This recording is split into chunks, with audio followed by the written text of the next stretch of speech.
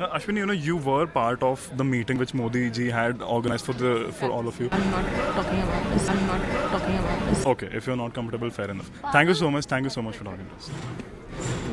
It's okay. Cut, cut, cut, cut. Well, it was quite surprising to see that Ashwini Iyer didn't want to talk on that meeting they had with PM Narendra Modi. I mean, if I remember, वो meeting काफी fruitful रहा for Bollywood, where GST rates जो है वो घटाए for entertainment industry. But nevertheless, our reporter ने वहाँ question complete नहीं किया. But the question was merely going to be that if you get a chance to meet PM Narendra Modi again, will you talk to him about the protest that's going on? And uh, she being one of the prominent faces and representatives representative from Bollywood, female representative from Bollywood, it was really important uh, to kind of have a dialogue, a discussion on this. But nevertheless, surprising to see that she didn't really want to answer that. But what Ashwini Iyer did answer and gave her opinion on is on the protest uh, against the violence on the students and professors at the JNU University. Let's hear what she has to say. Ashwini, you know, we uh, you just mentioned uh, previously that youth, the young uh, students in India, those are the future. And today, right now, as we talk in our country, you know, uh, in Delhi, uh,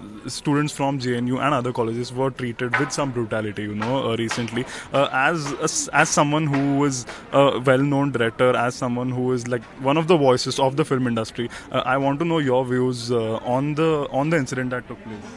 It's heartbreaking it's heartbreaking. And this is the first time I'm actually talking about it. Okay. It's heartbreaking. I feel that in any kind of situation, we need to first have dialogues. Mm. Violence is not the solution. Dialogue is the solution. And I just put a quote today uh, of saying that, you know, walk hand in hand and go home together. Mm. Lead the way. And uh, that's all it is. Once we, we can have dialogues, and once we have dialogues, things will start blooming in. Mm. And uh, yes, it, it, it's, it's depressing. Well, that's what Ashwini Iyer thinks. There needs to be a dialogue, a discussion, and uh, people need to walk hand in hand. Uh, वो कह रही है कि फिलहाल जो protests चल रहे हैं वो काफी depressing हैं. लेकिन इस uh, music launch event में एक surprising चीज ये हुई कि Kangana Ranaut जो है